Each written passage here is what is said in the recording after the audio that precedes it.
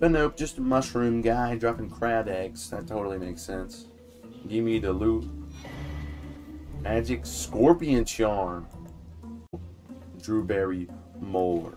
Witchcraft, I'm telling you. What's up, bats? Please be something good.